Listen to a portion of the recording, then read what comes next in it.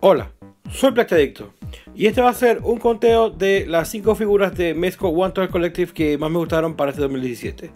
Antes de arrancar el conteo quiero desearles una feliz fiesta a todas las personas que están suscritas al canal y a quienes ven este video solamente por casualidad.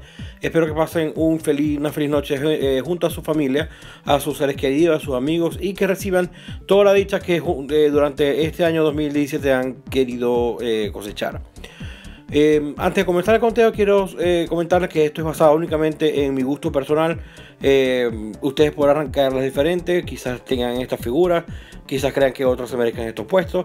El caso fue que durante 2017 Mezco sacó muchas figuras, mucha variedad de personajes y todas de muy buena calidad. El caso es que yo, por supuesto, escogí las 5 que más me gustaron basado en mi gusto personal, en lo que me pareció más importante y si cumplieron o no mis expectativas.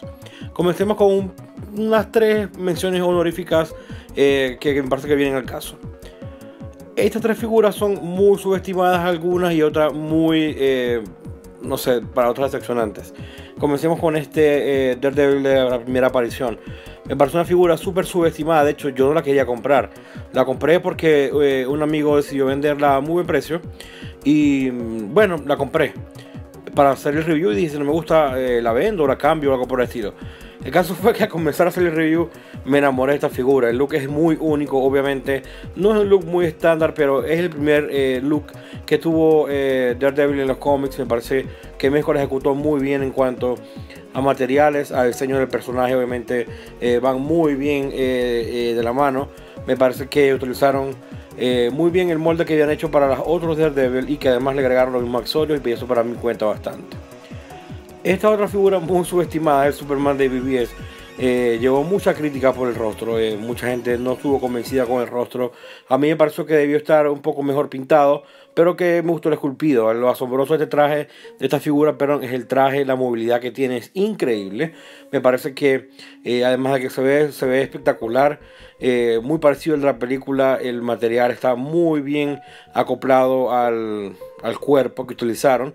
Eh, se ha mantenido muy bien durante todo el año. Esta figura la compré hace nueve meses eh, o más y he estado jugando con ella muy seguido ya que me gusta bastante cómo se siente al tacto. el traje está entero, está intacto y tiene una movilidad, como ya comentaba, increíble que ni Hostoy la, la pudo lograr. La capa también está muy bien hecha, me encanta cómo cae. Quizás mejor que si hubiese tenido alambre. El caso es que es una figura muy recomendada, para ser mejor Superman 1.12 eh, de esta versión del de nuevo DC eh, U, Universo, como sea que se quiera llamar. El caso es que es muy recomendada, fíjense lo bien que se ve el traje, se ve muy parecido a lo que vimos en la película. Eh, las botas tienen otro, otro material. Todo la verdad que está muy bien combinado y se siente muy pero muy bien. Pasemos al siguiente. Y este Superman clásico de México, el cual estuvo mucho tiempo demorado, mucha gente lo esperó por más, yo lo esperé casi que más de un año. Y la verdad es que eso aumentó las expectativas de la gente y al final mucha gente no se sintió convencida. Yo siento que me dieron exactamente lo que me prometieron, el traje se veía tal cual en, las promociones.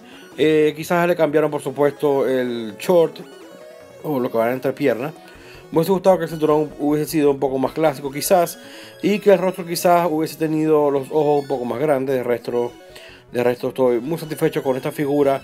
Para mí es una de las mejores del año. No hizo el top quizás porque me faltó un poco más de tiempo para jugar con ella.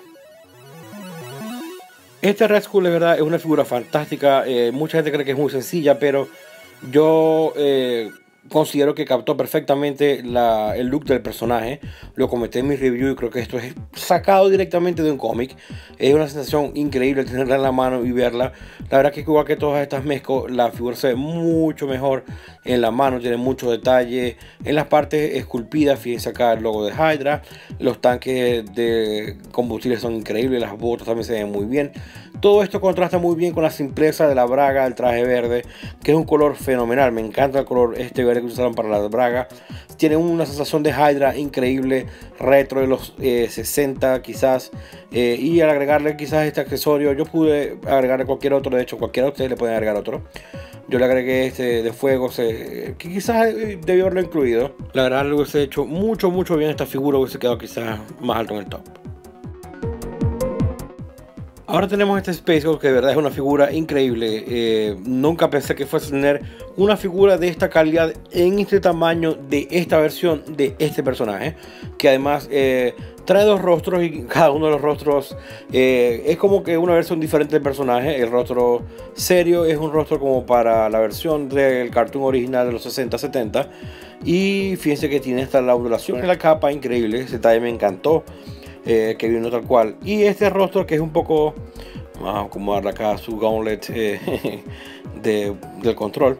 En fin, eh, este rostro que es un poco más jovial o más risueño se, va, se presta mucho para el coast to coast y bueno, además nos agregaron este blip que eh, se ve increíble, tiene una aplicación de pintura fantástica y está además articulado, yo siento que esto es un 2x1 básicamente, es uno de los mejores accesorios que ha tenido cualquier figura. Además, como comenté en el review y lo mostré, nos trajeron todo tipo de rayos y accesorios para combinar eh, con nuestro Space Ghost. Creo que esto es una figura superable y de hecho el precio se ha subido mucho desde que salió al mercado. Esta es otra de las figuras muy subestimadas de esta línea. Salió junto con el Punisher. Eh, ahí mismo junto con el Green Arrow y el Flash salieron todas juntas a comienzo de año. Y mucha gente dejó pasar esta.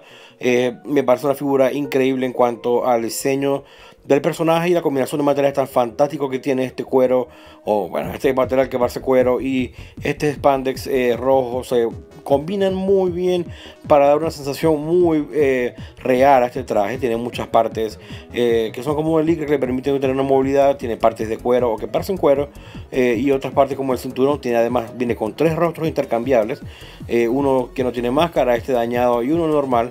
y como comenté, la articulación para una figura de Daredevil es por supuesto una de las cosas más primordiales que debería tener y este a pesar de tener eh, tela como traje eh, tiene una movilidad excelente diría yo la verdad es que tiene muchos detalles los cinturones eh, el cinturón parece cuero de verdad las hebillas están pintadas todo se ve muy bien además el holster funciona todo está fantástico en esta posición tenemos una de las figuras más populares, de uno de los personajes más populares del año. Muchas marcas sacaron su Deadpool, México no fue la excepción, creo que esto vino cargado, es que sobre cargado de detalles, el traje está fantástico, me parece que se ve muy bien al cuerpo y además eh, no queda tan suelto como en verdad pareciera, como pensé que iba a quedar inicialmente. Me gusta que tenga ambas katanas, me gusta el detalle que pusieron a las fundas, tiene los dos holsters para las pistolas, vino bien de accesorios, trae las balas para su lanzagranada, las eh, katanas quedan, mm, digamos que bien en, su, en su funda. Se sostienen, digamos que de buena manera, aunque si uno exagera mucho el movimiento, lo pone totalmente vertical, pueden soltarse. Quizás eso es un punto ahí que pudieron haber mejorado, pero mientras no se rayen ni se deformen, yo estoy muy bien con eso. Eh, están bien esculpidas. La figura vino con muchos accesorios eh, y quizás le hubiese quitado el rostro intercambiable para poner un rostro sin máscara o quizás con otra presión, pero el resto la figura es un hit. La verdad es que es muy divertida de posarla. Eh, se mueve muy bien con, la, con el traje, tiene muy buena articulación. Y creo que era obvio que para la cabeza del conteo teníamos esta versión de Punisher o esta versión de Punisher. Cualquiera de las versiones que hayan conseguido seguramente será eh, una de las mejores figuras que hayan podido lograr para este 2017. Este por supuesto es el chaleco que viene con este, que es la versión Fully Loaded. Viene con un traje, con una chaqueta que no es esta, yo esta la conseguí aparte. Pero viene con su chaqueta de cuero, viene con su franela adentro con el logo de Punisher puesto, viene con eh, el pantalón es gris y viene con esta arma que para mí es la mejor. Viene con un holster, viene con muchas armas. Eh, a diferencia de este, este es un holster que yo le agregué de una Marvel Legends modificado.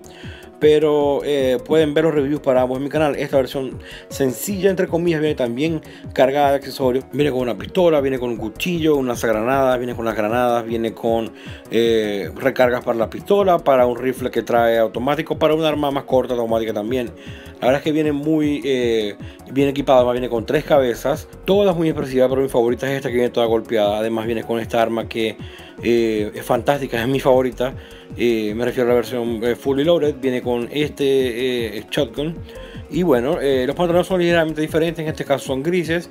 Hubiese gustado que trajeran quizás un par de bolsillos a los lados, pero bueno, nada, perfecto. Esta figura casi casi lo es. Y bueno, que hoy día esté muy complicada de conseguir, yo la recomiendo altamente si la pueden lograr y tienen los medios para pagarla, háganlo porque vale la pena. Y bien, este fue eh, el conteo de mis 5 mezcos favoritas de este año 2017. Eh, hubo figuras muy buenas por parte de Mezco, sacaron cualquier cantidad de figuras, bueno, cualquier cantidad no, pero sacaron bastantes figuras buenas y como pueden ver se quedaron sin hacer mi listado particular, el suyo quizá lo pueden ah, eh, agregar como ustedes quieran. Em, la verdad es que fue muy complicado hacer esto porque todas merecían de alguna manera u otra estar allí por algún mérito. Yo escogí las que me parecieran que combinaran más el diseño del personaje con el espíritu del personaje. Y bueno, este fue el top con el que yo pude eh, llegar. Créanme que estuve muchas veces donde lo cambié, pero bueno, me parece que es un top bastante completo. Y me gustaría saber qué piensan ustedes, cuál quitarían y cuál pondrían dentro o fuera del top eh, con todas las figuras que revisamos este año en el canal. Muchas gracias por ver este video. Por favor, den like, compartan, suscríbanse. Y si no me siguen en Instagram, me pueden ubicar como Plastic y abajo adicto para más fotos de mis figuras y futuros reviews. Muchas gracias y hasta luego.